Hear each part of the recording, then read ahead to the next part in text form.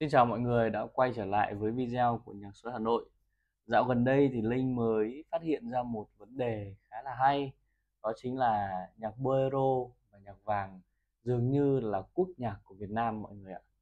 Nói thế không có ngoa đâu, bởi vì là khi mình tiếp xúc với à, các anh, các chú, các bác, thậm chí là ông, mình thấy là mọi người nghe bolero, nghe nhạc vàng là đa phần nó phải chiếm đến khoảng 85% trong số lượng khách của nhạc số Hà Nội.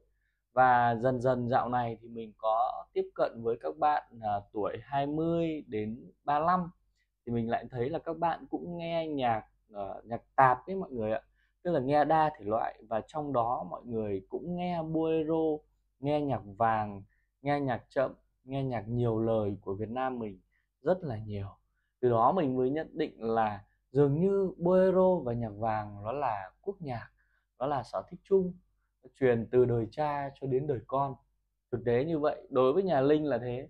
Linh nhớ những cái ngày ờ, từ những đầu năm 2000 ấy uh, bố của Linh có bật nhạc của của của Mạnh Quỳnh à Mạnh Quỳnh Phi Nhung rồi uh, của các ca sĩ thời đó. Và mình bị nhiễm đến bây giờ mình vẫn nghe rất là hay rất là đam mê. Thế thì quay trở lại là dòng nhạc đấy nhiều như vậy và dòng nhạc đó hay như vậy thì chúng ta đã làm sao phát huy được hết cái chất nhạc trong bộ dàn của mình hay chưa? Các bộ dàn người Việt Nam mình hay dùng thấy có rất nhiều bộ dàn ở phân khúc tầm trung tức là cỡ tầm khoảng 20 triệu đổ lại. Ở dòng bãi của Nhật này các dòng bãi của châu Âu hoặc là dòng bãi của Mỹ như là Bose dòng của uh, châu Âu như là uh, Wofford, Waffle đấy. Rồi uh, Nhật thì rất là nhiều Onkyo rồi ờ, uh, Diaton nhỉ Đấy, dòng của anh như Ditton rồi uh, nhiều quá rất rất là nhiều. Nó khoảng 20 triệu đổ lại. Thế thì trong những cái bộ dàn với cái mức giá như thế chúng ta chơi nhạc vàng làm sao để cho nó nổi bật lên được cái chất của nhạc? Làm sao nó thể hiện lên được cái độ hay nhất? Thì chúng ta cũng theo linh là cũng nên hiểu một xíu về dòng nhạc đó. Nó có cái đặc điểm nổi bật là thiên về lời lời của bài hát à, ca sĩ hát rất là nổi.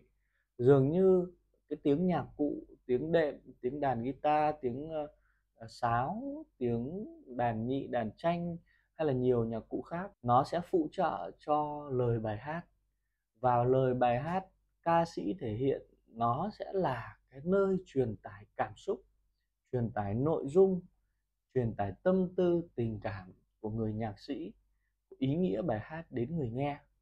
Vậy cái mấu chốt ở đây khi nghe nhạc à, dòng nhạc đó thì ngoài việc độ chi tiết nó phải cao đấy, độ rộng thân sân khấu độ rõ ràng của từng nhạc cụ độ rõ ràng của lời tròn vành rõ chữ đấy độ uh, tự nhiên thì nó còn phải có một yếu tố nữa là độ cảm xúc mọi người nhé linh nhắc đi nhắc lại rất nhiều về cảm xúc của bản nhạc nghe bản nhạc đấy nó thể hiện ra rõ cái ý đồ cái ý tưởng cái nội dung của người viết.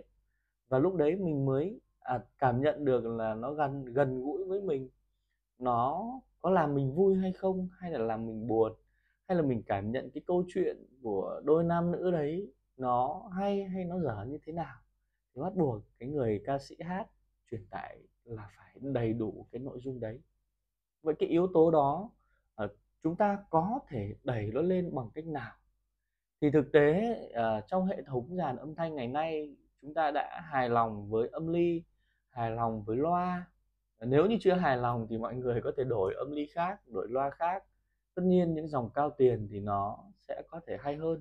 Linh nói có thể thôi bởi vì đôi khi cách phối ghép một bộ dàn thấp tiền lại hay hơn phù hợp với tai mình hơn là một bộ dàn đắt tiền nhưng nó lại không hợp gu thế thì nếu như chúng ta đã thấy nó ổn rồi chúng ta muốn một cái chất gì nó hay hơn thì DAC là một dụng cụ làm được việc đấy. Và thực ra DAC nó cũng không phải là phù phiếm hay nó cũng không phải là ờ, uh, chấm gió đâu nhé mọi người nhé người ta chơi từ Tây đến Tàu đến ta. Đấy chơi từ những năm 2000 đến bây giờ là gần 30 năm hơn 20 năm những năm chín mấy cũng đã có rồi chứ không phải là chỉ bây giờ mới có DAC và đến bây giờ thì nó phổ cập hơn nó rộng rãi hơn và cái giá thành công nghệ nó cao hơn này sản xuất nó rẻ hơn này và giá thành tiếp cận đến người dùng nó phù hợp hơn. Đấy chứ ngày trước cái, những cái năm hai mấy hai nghìn lẻ mấy mà đến bộ giải mã mười mấy hai mấy triệu thì chúng ta đâu có mua lúc đấy nó bằng cả một mảnh đất rồi. Nhưng đến bây giờ những chiếc giải mã như thế này thậm chí hai ba triệu thôi là chúng ta đã sử dụng được rồi đã sở hữu được rồi và đã thấy cái cái cái tác dụng của nó lớn trong hệ thống âm thanh. Và ở đây thì linh khuyến nghị mọi người là với chất nhạc như thế với giá thành như vậy à, với chất nhạc mà chúng ta đang muốn mong muốn ấy, với giá thành vừa phải trong bộ dàn vừa phải thì những chiếc DAC chạy mạch Delta Sigma sau đó là kết hợp thêm bóng đèn sẽ cho trải nghiệm âm thanh nhạc vàng nhạc bolero nhạc nhẹ nhạc giàu tình cảm tốt nhất hay nhất và rất dễ chịu trong phân khúc giá. Đấy mình phải nói rõ như vậy. Tất nhiên là DAC nó càng cao tiền thì nó sẽ có những cái hay riêng của nó. Nó hay hơn ở cái phân khúc dưới. Nhưng tầm giá của mình chơi đến đâu thì chúng ta sẽ lựa chọn những sản phẩm tốt nhất. Tại sao linh lại nói như vậy? À, DAC nó sẽ có tác dụng chuyển đổi tín hiệu digital sang analog một cách tốt nhất một cách đầy đủ nhất. Nó không bị mất giải tần nó không bị thiếu uh, thông tin nó không bị thiếu các cái ờ, các cái, cái giải tần thấp hay là giải tần quá cao nó xử lý cho mình. Xong sau đó à nó sẽ chạy qua một cái thằng rất rất là quan trọng đó chính là bóng đèn. Đây mọi người này nếu chúng ta để ý thì sẽ thấy là trong nhiều bộ dàn cao cấp anh em hay chơi âm ly đèn ấy hay chơi uh, priam priam bằng đèn ấy nó là chính là những cái bóng đèn chân không như thế này tín hiệu analog sau khi được giải mã từ DAC nó sẽ có một cái tầng mạch khuếch đại tiền khuếch đại ở đây. Mình gọi là cái tầng mạch đèn. Trong những dòng này nó là như vậy này. Đây mọi người thấy này. Hoặc đây.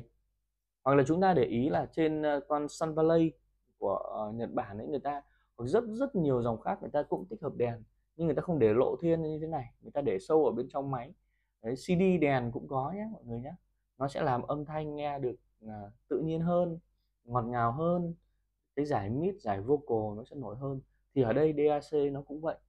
Cái đèn này, analog đi vào và analog đi ra, nó đều là analog cả. Nhưng nó giống như việc chúng ta đang có món ăn, đi qua một tầng gia vị và nó phù hợp với khẩu vị của mình nhất. Nó làm cho món ăn được đẩy lên một tầm cao hơn, ngọt ngào hơn, dễ chịu hơn, nghe lâu không bị mệt, tình cảm hơn độ rộng, độ thoáng sân khấu tốt hơn. Và mình nghe âm thanh, phải nói là đã hơn với mức chi phí thì rất là thấp. Anh em chơi dòng DAC hay dòng Priam chạy đèn rồi thì sẽ thấy cảm nhận này rõ nhất. Và những dòng đèn này chúng ta sẽ phát huy hết được khả năng của nó khi cái bóng đèn nó đã nóng lên. Và nó chạy ban đầu khoảng 5 phút, về sau nghe rất đã. Khi đang nghe có đèn rồi mà bỏ ra, nghe không, nghe thuần bằng DAC không có tính năng đèn, mọi người sẽ thấy nó chói, nó gắt và nó sẽ không có cái độ mịn, độ mượt trong bản nhạc nữa. Vậy là đối với người chơi nhạc bolero, người chơi nhạc vàng thì linh khuyên là chúng ta có thể tham khảo những dòng giải vã giải mã như là Sukao Yodak T1 cái này mọi người này, đấy, chạy đèn nhá, gian 5654 của Mỹ. Đèn cũng có nhiều loại nhá, của Mỹ, của Trung Quốc, của Nga thì ở đây nó sử dụng bóng gian 5654 của Mỹ. À, Mỹ chuẩn nhá Mỹ USA đây. đây chúng ta thấy này Mỹ chữ xanh made in USA có một câu chuyện nó tương đối buồn cười như thế này. Thì hôm bữa có một anh khách của Linh mua cái bóng 5654 này về ghép. Thì anh bảo là bán cho anh cái bóng 5654 uh, ờ, chuẩn của Mỹ.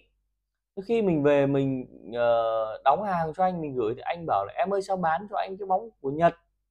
Một quái nhà em bóng 5654 không có bóng của Nhật chỉ có bóng của Mỹ thôi. Thế anh hỏi sao có chữ gian? Chữ gian này là chữ Japan.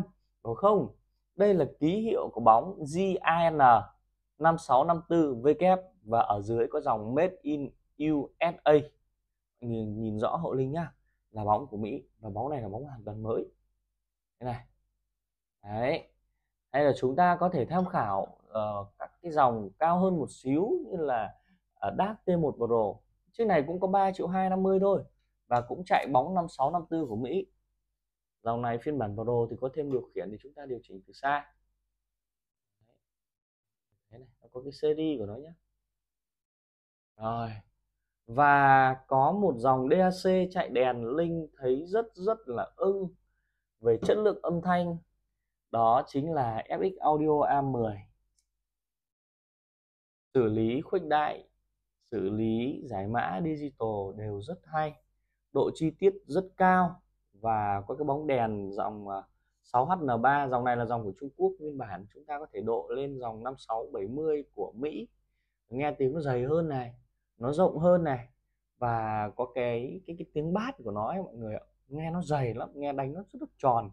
Thì mình thích dòng A10 lấy nhất trong các cái dòng à, DAC có tiền khuếch đại đèn tại nhà số Hà Nội có thể điều chỉnh bát chép nhá. Bởi vì nó là một tiền khuếch đại, đèn, nên là nó có thể điều chỉnh bát chép. Và tất nhiên đối với những dòng giải mã như thế này thì sẽ luôn luôn có những cổng giải mã để mọi người chơi từ các nguồn tín hiệu khác nhau. Ví dụ như cổng quang có optical, xuất từ TV xuống này. Đấy, cổng Bluetooth để chúng ta bắt từ xa, bắt điện thoại từ xa, không cần phải lại gần. Ngồi từ xa thôi, có thể chơi đến 24 bit. Và có USB để chúng ta xuất từ máy tính sang, xuất từ ờ, điện thoại, từ iPad, từ laptop nhạc chất lượng cao. Và đối với cổng USB này thì nó là cổng có chất lượng cao nhất hiện nay trong với mỗi dòng DAC ngoài ra thì sẽ được trang bị một cổng AUX in. Cổng này khi nhận tín hiệu, chúng ta có thể chơi từ CD xuống và sử dụng tính năng preamp như thế này, tính năng đèn để làm cho âm thanh của mình nghe hay hơn. Đấy, ngoài là giải mã này, ngoài nhận digital thì nó còn nhận analog nữa. Và xuất cho chúng ta được à, uh, AUX xuống uh, vang xuống âm ly và có cả sub ao để đấu có sub điện. Rất là tiện và rất là hay. Ok thì vừa rồi là một chia sẻ nho nhỏ của linh về cái vấn đề linh vừa mới biết dòng nhạc bolero dòng nhạc vàng nhạc quốc dân của việt nam. Và từ đó thì có giới thiệu đến mọi người ba mẫu giải mã DAC FX Audio A10 chiếc này là 3 triệu 150 nghìn. Chiếc Suka DAC T1 2 triệu 350 nghìn. Giá cũ ngày xưa là 2 triệu 8 nhé mọi người nhé. Và Suka DAC T1 Pro 3 triệu 250 nghìn. Cái phân khúc giá rất dễ tiếp cận và rất là rẻ. Ngoài ra, Linh sẽ tặng những phần quà như gói nhạc trực tuyến chất lượng cao tay đồ tặng dây quang hoặc dây AV để mọi người đấu nối, miễn phí vận chuyển toàn quốc và hỗ trợ cho chúng ta trong quá trình sử dụng cũng như là chế độ bảo hành lên tới 12 tháng Cảm ơn mọi người đã theo dõi video và rất mong mọi người để lại ý kiến, để lại bình luận cũng như là đăng ký kênh để ủng hộ nhật số Hà Nội. Cảm ơn, hẹn gặp lại trong những video tiếp theo.